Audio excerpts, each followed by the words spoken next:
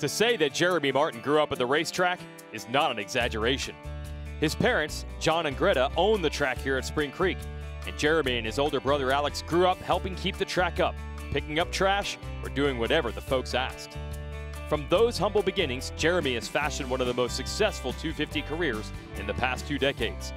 His back to back championships were the springboard from which the current Star Racing Yamaha dynasty was built. And since the 2014 season, J Mart has won at least one overall in every season he's lined up.